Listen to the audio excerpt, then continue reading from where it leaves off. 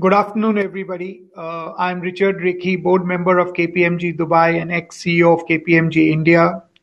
Uh, I am chairing this session on how sustainable is the post-COVID economic reform. I would like to introduce my panel members uh, who are joining me in this important discussion. Uh, we have Peter Brimble, who is the private sector development advisor to DAI Global United Kingdom Peter has been working on business environment issues in Southeast Asia for many years, and since COVID-19, he has worked on various COVID-19 response activities in Myanmar and Cambodia. He's now working uh, on from a base office in England. Uh, we have with us uh, Nico Anten, who is the executive chairman of Connekt, in the Netherlands, a leading uh, and financially independent network organization in trusted collaboration for Dutch industry, science, and government, with a strong international focus on smart and sustainable mobility and logistics. It is the potential of technology and the impact of climate change which are Nico's driving force, but working with people is what energizes him. Nico has more than two decades experience in general and change management and business strategy in smart mobility and logistics. We have another speaker who has not joined yet. Uh, he's uh, hopefully will join us soon. It's Dwight Hopkins, founding director, ESG Research Initiative Center at the University of Chicago, US. Dwight is passionate about accumulating resources to strengthen the common good, uh, especially investment funds, with a global context. He enjoys finding new areas of resources, bridging networks, and managing different types of people. Now that I've introduced the panel members, I'll just give a few opening remarks before I we get into the main session. So, uh, what governments have been trying to do to reduce the impact of COVID-19 pandemic on the economy? Uh, major economic policy reforms have been introduced by different countries across the globe. Uh, as we have seen, uh, governments across Asia are pumping cash to households and businesses to help them survive the COVID crisis. At the moment, they don't seem concerned about sovereign debt repayment. So, will the rise in future taxes be an acceptable outcome? So, Asian countries the support was aimed mainly to bring immediate support to corporates, to prevent bankruptcies and defaults, and limit instability risk in the financial sector. They also wanted to stimulate activity to encourage a rapid rebound by interest rate cuts, short-term liquidity injection, and uh, um, uh, short-term liquidity to respond to demand, support measures for SME sectors that were hit hardest, directly affected was retail trade and tourism. Job support measures, stimulus packages, uh, stimulus packages, the varying degrees to which different economies have successfully achieved cross-institutional cooperation between the central bank and federal governments will likely determine how both the uh, countries, uh, how different countries will emerge from the pandemic in the short term. Many feel that the past year and a half uh, to COVID hardly anyone was spending money. Now the economy is opening up, people are spending and traveling. Uh, I'm not sure how well our systems are geared up to meet this high demand. So there is inflation which is being caused in the short term. Some cases it's quite high. Uh, secondly, the interest rates have been lowered to almost zero, which has spurred demand in households, which has also increased the inflation levels. Until recently, many economists believe that moderate inflation makes the economy perform better. However, a growing number of economists today believed that monetary authorities can best promote financial stability and economic growth by making a firm commitment to maintaining price stability. We have seen another cause of concern has been this entire geopolitical issues around which has created amount, a huge amount of supply chain disruptions, which itself has created supply chain constraints. Uh, the three factors that is pent up demand, uh, cash transfers, especially for households and services, and supply chain disruptions will likely be transitionary and the impact should fade over time as the economies recover from the pandemic. The COVID 19 crisis caused significant deterioration in public finances. which calls for a rethink of tax and spending policies once the recovery is well underway. It will be essential to create conditions for robust, resilient, and inclusive economic growth, which in turn will support government finance in the future. We have seen examples in certain countries where a premature withdrawal of fiscal support and increased taxes uh, could risk the undermining the recovery as happened during the global financial crisis. Now, coming talking about India, it seems to be an exception as the direct support for COVID was not large as expected. Hence, the debt levels have been maintained. Still, India has gone through significant inflation, rise in commodity prices, especially energy, which is having a crippling impact on inflation besides other factors. On top of it, uh, the structural changes required post global financial crisis of 2008 had not been completed, and this is adding to the stress to the economy. It also appears that one of the largest economies, China, may have its growth sputtering due to various reasons. This is not good for a healthy global economic growth. However, one cannot find fault with the government for supporting those who were in need during the COVID lockdown period. We now need to find out how we can have a soft landing of the accumulated debt with limited increase in either inflation or taxes. I would now like to go across to the to our uh, uh, esteemed panel and I would like to ask question. So Dwight, first of all, welcome. Uh, I'd introduced you uh, uh, while you were not there. Uh, so, so I'll ask the first question to you.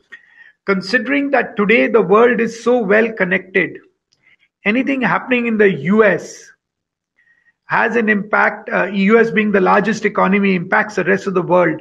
Can you kindly elaborate what is the economic and social impact in your country in view of the high inflation uh, which US is experiencing today? Well, first of all, thank you for uh, inviting me for this panel. I Always enjoy being part of the Horasis uh, process. And uh, again, this is one perspective from a U.S. location. Um, I think there's a hope and expectation that uh, inflation will abate in the U.S. I think that's a long term perspective. But I think at the same time, on the ground, what I mean on the ground, uh, people who are struggling every day from different sectors, different class backgrounds, are struggling every day to deal with the increase in inflation. And it's very prominent and right now, at least in my neck of the U.S., because we're just finishing Easter uh, about an hour ago. It's actually 2 a.m. in the morning Friday for me, so I stayed up. But we just finished family Easter, uh, Easter, excuse me, family Thanksgiving. Um, so there have been different surveys that talked about Americans' view toward inflation. Uh, there was a recent poll uh, two days ago that indicated that 77% of Americans say inflation has recently affected them and to some extent. Um, 61% say the same about say, said the same thing about the ongoing supply chain crisis. So you can see even from the data that inflation is a very important and a very pressing and a very disturbing reality, uh, if not for the long term, for the present time. Um, other indications, and a lot of these are from the official Labor Department at the United States federal level. Uh, they talked about the consumer price, price index had jumped 6.2% in October last month from a year earlier from 2020. And as many of you already know, follow the news, that this is the largest year over year spike in more than 30 years, three decades. Um, we've known that uh, that prices are up since September, almost six percent year on year from last uh, September 2020. Um, and this is the fifth straight month, fifth straight month where inflation has surged more than five percent. And again, this is uh, very it's very disturbing. I don't know if you can come across in the news. We have these data points which are just indicated both from official federal government level as well as independent, uh, both left of center and right of center. So it's pretty much consensus. Um, but even just today, or actually early this morning, when I went to the grocery store to get some things for Thanksgiving, the stores are packed, but there's a sense of unease and panic because there people are concerned about whether or no there are going to be shortages. And in fact, it's not even, but there I've been to some stores here in Chicago, and then there have been shelves, you know, that were empty. And so they're wondering about whether the you know supply chain is going to be uh, rectified, whether inflation is going to go up more, so I should buy things now. At the same time, there's a lot of pent up demand since COVID, so that's being released in terms of, of consumer consumer purchases, and you know basically people want to try to live their own life. Um, so I think all in all, uh, there's been some long term hope, but the immediate issue is very very pressing you probably also heard about in the last uh, six days that there have been these organized mass lootings throughout the United States. I won't go into all the details, but a lot of this is this is unprecedented in our country, and a lot of it's happening in the daytime. And usually it's in the urban areas or in one neighborhood, but now there are many of these lootings that's going on taking place in high end. I mean, literally one percent areas of America. So uh, there's optimism for the long term, but I think the question of uh, post-COVID uh, uh, intensity of, of, or anxiety of, of, a lot of Americans, not all, but a lot of Americans, is that the inflation is really, really bearing down hard on families.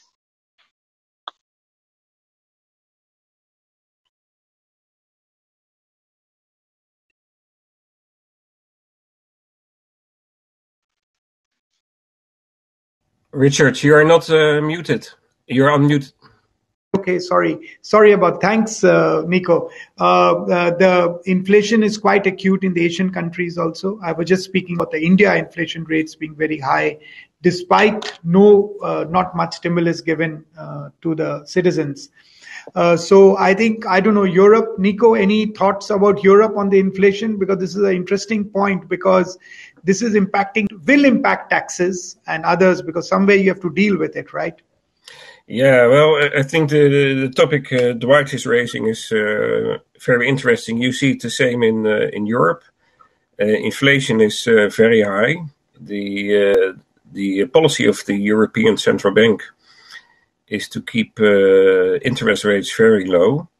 Mm-hmm. So the moment as a household you have a certain amount of savings, you have yeah. to pay your bank for keeping the savings on your bank. So your uh, so your the prices are rising. If you have money, you have to pay for it, and then also in the Dutch tax system, uh, when you get your annual uh, tax uh, as a citizen, the government uh, has an a four percent uh, fixed tax on your savings.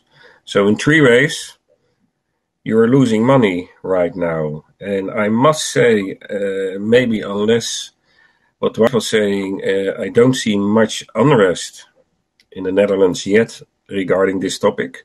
People are more concerned about a new uh, lockdown, which is uh, emerging.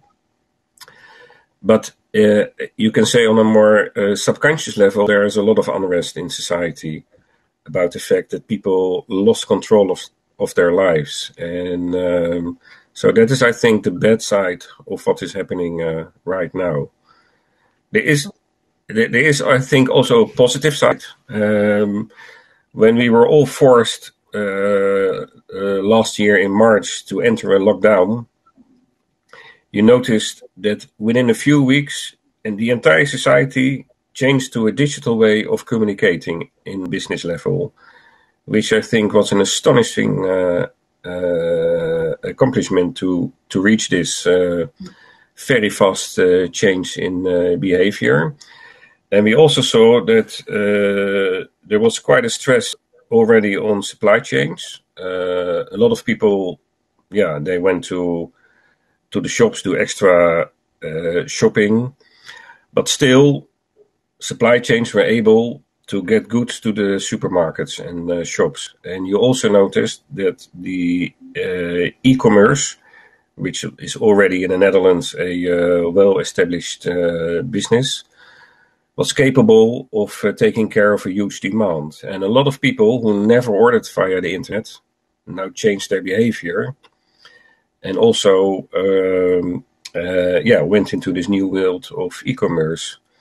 So that looked good but then you saw that the price of containers were rising sky high and still are sky high. You saw the disruption the uh, Forever Given uh, created in the Suez uh, Canal. And now you see here also a lot of stress on uh, supply chains. And we see logistics service providers who do not take in new customers because they don't have the capacity to, to deal with the uh, huge demand in the uh, supply chains. There are no empty shelves. That's the good news.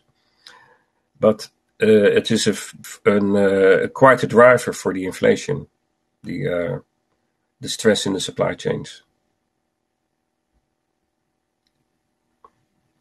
Oh, you have to unmute again. Oh, sorry, Nico. Nico, could you do you think that this uh, COVID has fast forwarded this digitization? And do you see, uh, I mean, you did talk about digitization, you did talk about all of this. Do you think it's fast forwarded and how has it impacted human behavior? Because, you know, as humans, we were resisting some of this for a long time. I mean, it was there, but it was not happening. So, can you enlighten the audience? Yeah, this? well, I, I, can, I can speak roughly for what I see in the Netherlands yes. and what is yeah. happening around the uh, Netherlands, uh, you see that you just have to go forward in the digitalization. Otherwise, uh, yeah, in a way, you're not connected to society anymore. I think there's a moral aspect behind this discussion because um, uh, what if people are too old or they are just alone and they can't cope with new, uh, yeah, with the access to the internet, then they have a uh, a tough uh, time. Uh, I think uh, what I also notice, I'm an employer myself. I my foundation is a small foundation. I have a staff of 16 people. but I see that due to the pandemic, the travel time of my employers, they changed it into working time. So for me as an employer, I did not compl- I did not ask them so for them to do so, but you saw that the predict productivity has risen during the pandemic because uh, people just uh, were working uh, more a lot at home, of course. Uh, but there's a downside again here. I think that the um, the innovation is lacking behind now. So people like to be more at home. They see it as an advantage. They are closer to their kids. Uh, um, so they feel uh, a better uh, balance to be more at home and not to have the travel time. But a lot of um, of my members are complaining about the fact that there's a lack of creativity because for me it is very difficult to have a meeting like this and do a creative session. For that, I like to have more interaction with people in a physical way to see, to look them really in the eyes and have an informal talk uh, whatsoever. So, yeah, there are pros and cons, uh, but behavior is changing. Yeah. Thank you, uh, Nico. Peter, let me come to you now. Uh, you have been uh, very closely involved with Myanmar and Cambodia, uh, dealing with the COVID recovery, and you, you've done a lot of studies and work in this area. Uh, how do you see it there? And do you see inflation in the economy like we are seeing in other parts of the world? Thanks, um, Richard.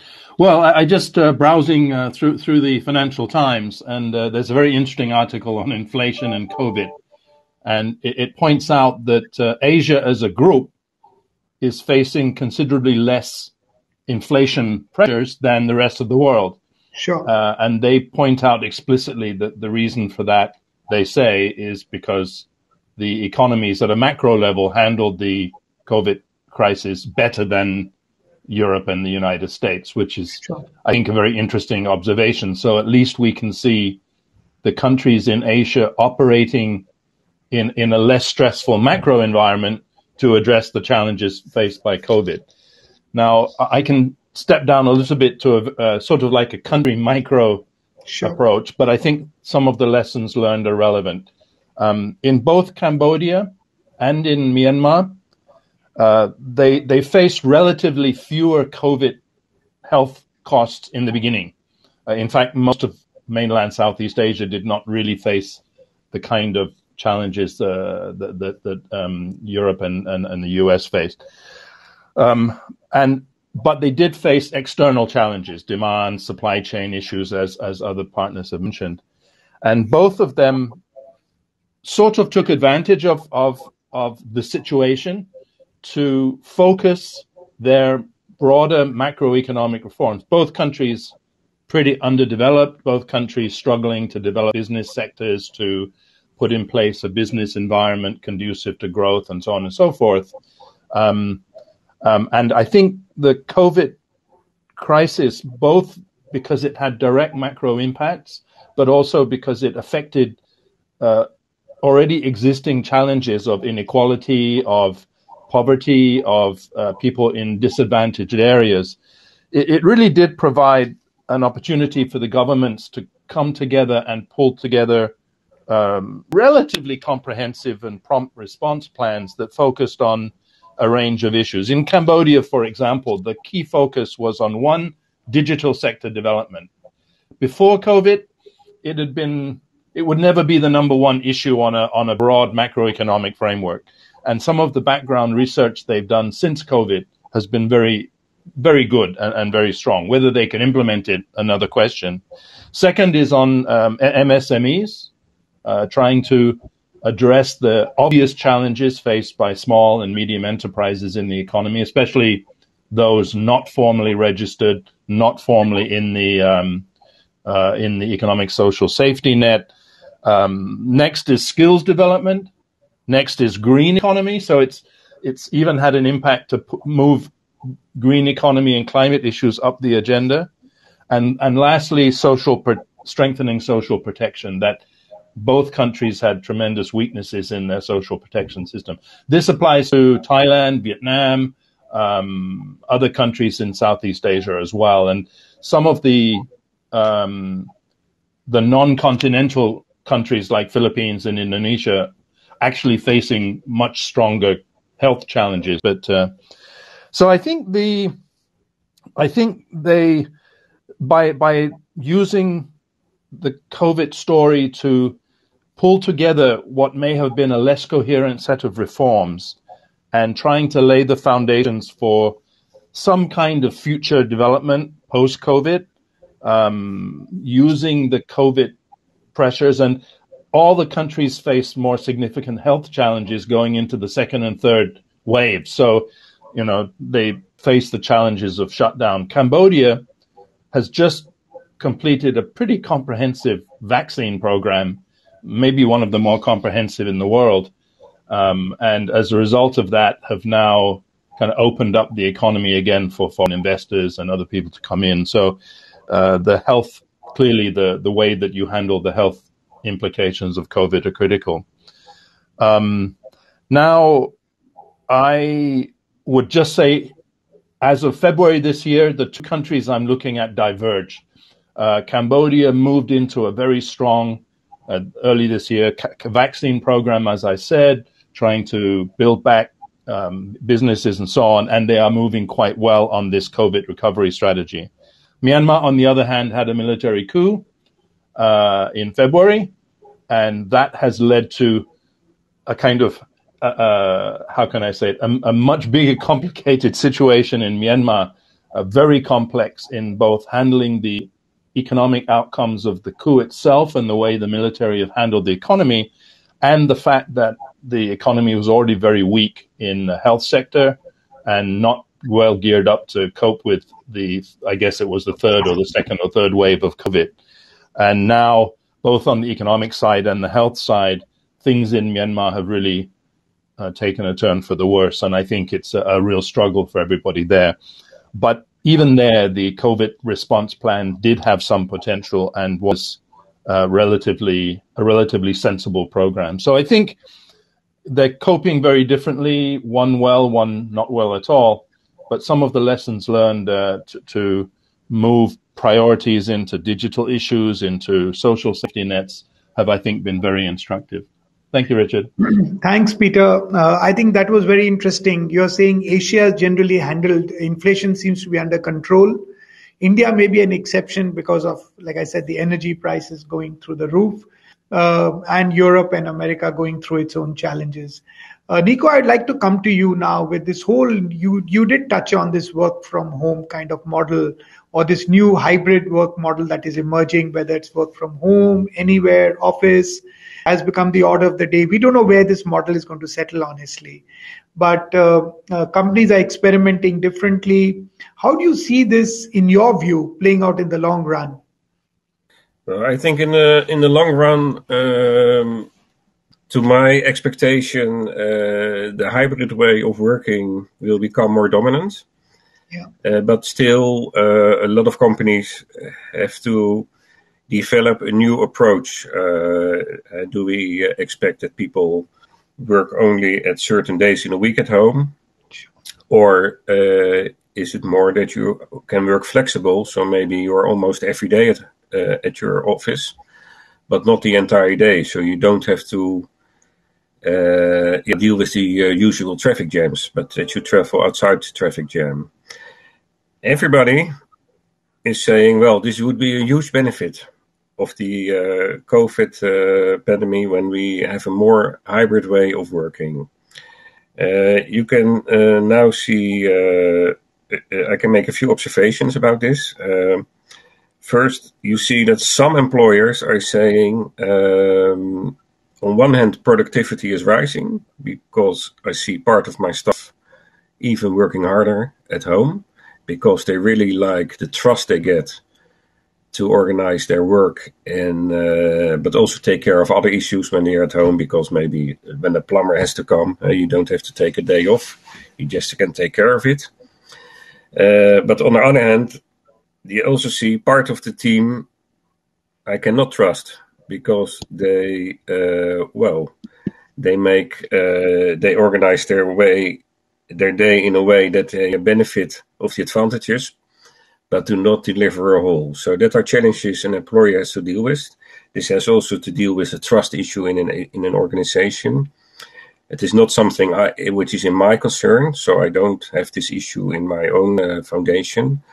But I know of members of me who are uh, dealing with these uh, issues. The other thing is that despite the advantage everybody sees of hybrid working, that habits are very difficult to change because when uh, the Dutch government decided in summer to reopen the entire society, immediately all the traffic jams were back.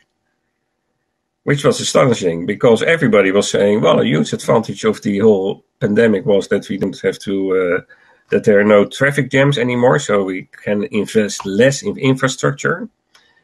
Uh, because if you can uh, spread the entire traffic over the day, uh, we can better use the existing infrastructure and it saves a lot of money in building new infrastructure. And the main concern in the Netherlands at the moment is that uh, the maintenance of the infrastructure is costing a, a, lot of money. Most of our infrastructure was built in the 60s.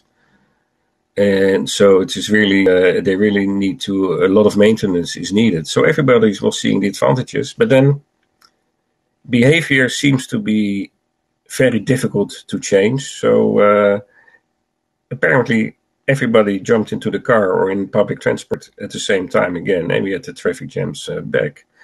So, despite the fact that you see on a general level the advantages, both as a society and as an employer, apparently to change behavior on an individual level is a difficult issue. People tend to say, okay, let the other people change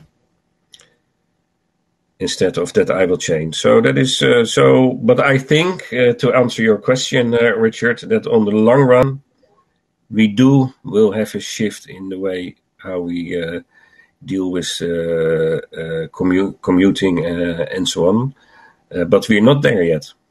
Yeah, I think this is going to be a big challenge, and I agree with you. You know, uh, when COVID came in and there was lockdown, suddenly the environment looked so much cleaner. Using traffic jams, yes, I agree, but even the environment looked cleaner, and suddenly it was all back once it opened up.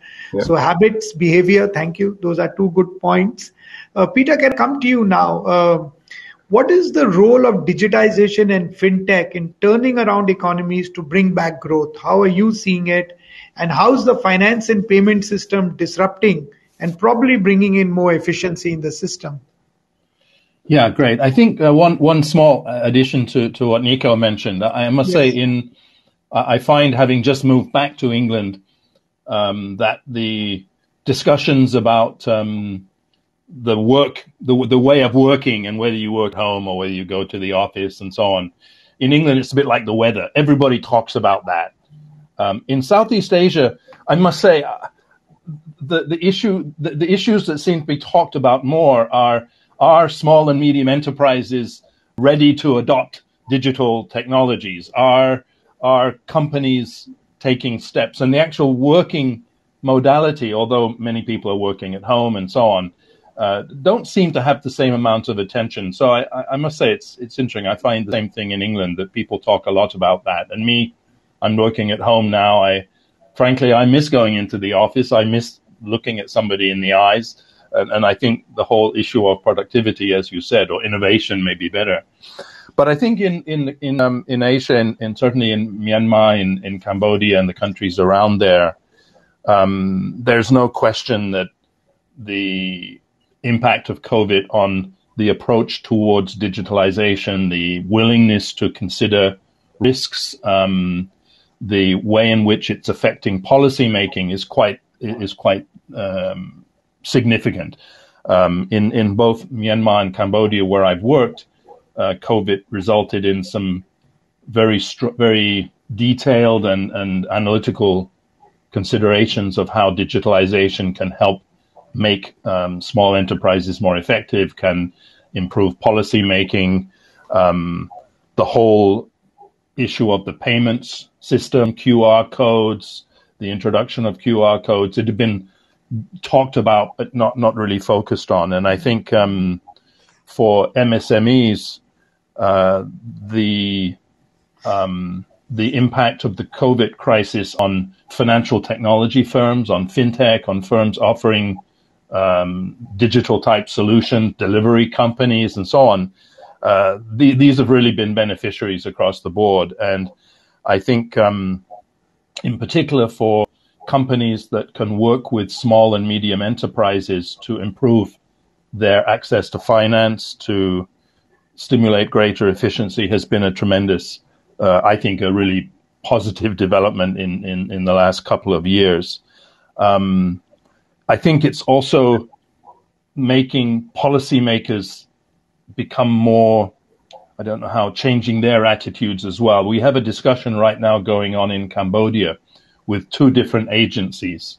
And one of the agencies is still taking a very traditional approach to digitalization, trying to consider very carefully all the risks, study everything 10 times before doing anything. The other agency, which is quite innovative, I think, is, is saying things like we need to introduce a fintech sandbox to allow fintechs to experiment in key areas, crowdfunding, uh, whatever. And we need to take the risk. we need to be aware of the risk, but we need to take the risk. And I think that change in mindset has been something that has been stimulated and, and pushed ahead by COVID in, a, in a real way. Even in Myanmar, where the the military regime has restricted internet access, has has led to all kinds of, of issues of supply chains and logistics and whatnot. Even there, we put in place some work, um, a project particularly called the Myanmar Microfinance Digitization Project, which basically is a kind of indirect real time retail payment approach, setting up systems to link microfinance institutions.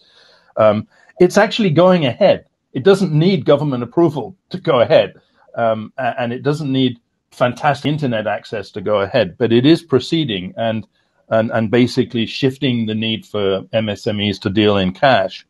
Um, and, and so I think there is some macro macro attitude changes and some micro developments that that show how uh, digitalization can really have a strong impact on the economy, on value chains, on small enterprises.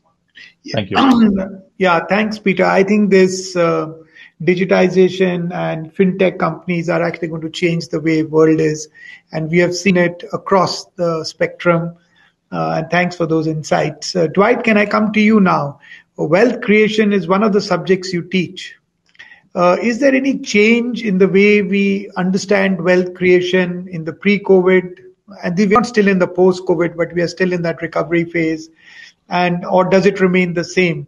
And would you like to share some insights around this with us? Uh, yes, yes, I think it's a great question. Um, um, let me before I deal with the wealth wealth question, I would like to go back to sort of the the pandemic and the prospects for recovery and how governmental policies impact sure. the U.S. Um, probably, as many of you know, in the U.S., it's a pretty uh, polarized situation right now. Um, and so a lot of the implementation and even the interpretation of what is science and data are all impacted by one's political views. Um, and so that impacts uh, the effort to pull together a national or federal single policy that would impact all 50 states. So then, so I think we're in a, in a, in a, in a slice of history or part of a process in the U.S. where the intense polarization co- cover, colors everything. So that's one thing I think that's uh, depending on one's political view, either enhancing the recovery on, uh, with COVID and the pandemic or just facilitating it to linger even longer. A second uh, issue that's uh, impacting how the recovery can take place as far as you know who's being what who's being locked down, quarantine, and who's not, um, is just a deep part of American culture which resists any interference or presence of government in one's individual decision making. So um, it would be hard to say that there's one policy or one layer or one representation of you know uh, U.S. recovery or efforts to recovery from the pandemic because of those. Just an example for uh, there have been states that didn't shut down, and they're saying that well we ne- we didn't shut down, and look we we don't have a you know a whole uh, huge examples of COVID, and you have others that shut down and say well we we didn't either. So you know which which data point do we use? Um, great example is my son. I live, I live in Chicago, which is in the state of uh, Illinois, and Illinois is connected to another state, Indiana. And so we live in Chicago. And then my son takes ice skating in Indiana. Well, Indiana never used, they didn't use masks. They never used masks. So we crossed the state line for his, his, uh, you know, his weekly skating lessons. Nobody there. Restaurants, gas stations, petrol stations, ice skating, colleges. They just, it's an amazing. So obviously, Indiana, they said, well, look, look, we don't have, from their perspective, we don't have a lot of COVID outbreaks. And you guys and gals just across the board in Illinois, you've been shut down and wearing masks all this time, and you have more than we have. So it's a really complicated and layered uh, perspective on the recovery in the U.S. Um, in terms of the wealth gap thing, I think one of the biggest uh, factors, uh, one one of the biggest indications of, of wealth um, post COVID is the redistribution or further consolidation of wealth among the 1%. Um, for example, Amer- America's billionaires grew $2.1 trillion richer during the pandemic. So that's a huge amount of money, and that took place during during the pandemic. Um, and also, not only did there the increase of wealth and ownership uh, increase in the billionaire class, but the number of billionaires also increased as well. So um, during pre-COVID, there were, well, it's about a 600, 600, 615, I think the number is, of Americans who had 10 figure bank accounts. And today there's almost 800. So um, it increased at a huge, huge rate. Uh, and, um, you know, we a lot of these figures you may have run across in your own research, but 10% of the richest people in the United States uh, now own almost 70% of the country's total wealth. And the bottom 50% of U.S. citizens only hold 2% of all U.S. wealth.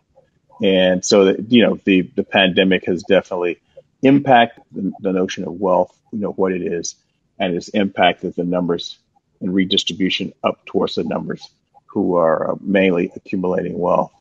Um, this is uh, obviously been a, a, a, concern. And again, the concern about wealth in the United States is partially uh, vetted or through the lens, if you will, of which political, you know, cable news station, which political newspapers, which political parties are interpreting wealth. Um, but I, I, think the data pretty much shows that the wealth issue has been, um, you know, been beneficial. That's your perspective, or exacerbated. That's your perspective with a more and more redistribution of wealth upward. And so this obviously has um, social implications about how people are going to going to make it. Right? Um, there's this whole nation notion in the United States uh, imagination or culture or expectation that the children of the parents will do much better than uh, the children. The children of the parents. The children will do much better than the parents did in their generation. And that's the issue that uh, outside the 1%, that's obviously being a question that's coming coming to play, whether or not that, that, that cultural memory or that history or that mythology of America is going to hold. And so you have that as well. What's the social implications of this wealth? At the same time, it's interesting because you, there's a huge wealth redistribution more and more up, but at the same time, I think there's this pent up demand and savings and desire to spend that a lot of Americans had during the pandemic. And now that uh, pretty much all the states, they're, if not all are totally open, most are open. People are spending madly. You know, there were over uh, almost 47.5 million travelers during this Thanksgiving week, which has probably been the largest in maybe you know 15 years. So people are you know they're go, they're there are some politicians says don't go home if you go home you use mask over dinner. Nobody's going to adhere to that. So hopefully this consumer uh, demand, consumer expenses will push the economy forward in a positive way. And um, you know the question of wealth is one question. The question of income is another and the question of how different layers of society, different layers of Americans in the American society are responding to this wealth is another question. But it's it's it's a major issue. Um, I think just in terms of perception of wealth and the popular perception in the U.S., a lot of people don't make a distinction between wealth and income, and a lot of people are just you know trying to get their kids to school, trying to you know deal with what the what the new normal will be post with post COVID. Of course, that has implications depending on which state you're in, which who's your governor. Um, so the wealth is reality, and the data speak to a reality. But also, there's a perception of people who may not one make a distinction between wealth and income, and two are so focused on what's in front of them that the issue of wealth uh, may not be a, a major uh, major you know concern on their radar. thank you, Dwight. I think this uh, wealth creation amongst the rich is, I think, a global phenomenon. And the rich have gone richer, and uh, so I think the gap is widened. And I think we need to see how we bring back inclusive growth. Uh, we just got a few minutes left. Uh, Nico, can I come to you because uh, I think possibly this could be the last question I have because we just got three, four minutes. Uh, there is a positive uplift in the economies across the globe And the countries seem to be coming back to normalcy, other than the lockdown in Netherlands, which may be announced tonight. Uh, but is it time to make supply chains more resilient than what they were? Because the one thing that got broken was the supply chain, actually. Yeah, well, you see that the stress created uh, in supply chains created also strategic uh, issues. Um, I think the European Union as a whole is strong on economics uh, also on, uh, let's say, uh, laws regarding data pr- privacy, but it is not a very strategic approach. So we, the, the European Union as a whole, made became aware of the fact that they depend on very long supply chains from Asia or uh, other parts of the world which they do not control. And you saw a very normal uh, situation that a lot of our medicine are coming from China or India. Yes. That both countries saying, well, we are going to produce medicine for our own people first, which mm-hmm. seems very natural approach. So one discussion you have now is uh, how can you change uh, supply chains that you still make use of the entire world, but in case if there's a disruption that you can change. So, for example, we have now an experiment with a uh, large brewery in the Netherlands. Now, a brewery produces alcohol, of course, to uh, in the end to uh, to sell the beer. But the government is now giving them uh, uh, plastic bottles and uh, also glycerin, so that in case there's a disruption of sanitizing products, they can uh, make use of the alcohol they produce together with the bottles and the glycerin to produce uh, sanitizing gels for the uh, which you can then distribute in the Netherlands itself. So you only have to pay some storage facilities to take care of a disruption. Well, this is a way of how now in several businesses there's a rethinking about what is the strategic design behind supply chains uh, I don't think the answer is that we uh, that everybody tries to produce everything for their own. I think there's a benefit uh, if we uh, if we make use of the uh, well, let's say all the facilities the world as a whole as a whole can uh, can offer. But apart from this strategic approach, you also saw a very important other uh, topic, um, namely the sustainability. All the very long worldwide supply chains uh, are not very are not very sustainable. So there are two drivers now: the strategic driver, how to become, how to uh, tackle a disruption, and the second one, how to make the supply chains more sustainable. Yes, and I think uh, I just got a notification that our session time is over, and uh, I would like to thank all the panel members for your insights um, valuable insights that you have given. And uh, I think ESG, uh, and just to end, Nico, which you said is sustainable and ESG is becoming a big hot topic today. And I think world over, everybody's looking at carefully. Uh, with that, I would like to wish each of you all the best and stay safe uh, Uh, as we deal with the further pandemic as it continues. It's not gone away, actually. Okay, bye, and thank you very much for your time. It was a pleasure. And, and thank you, Richard, for hosting thank us. You. Good to you, meet everybody. And thank you for two, for being here at two o'clock, two a.m. your time or whatever, or two thirty now. Two thirty, so, but that's okay. Two thirty. Yeah. Now please go and have a good sleep. okay, okay. bye. Be well. Bye. Thank bye. you so much. Bye. Thank you. Bye.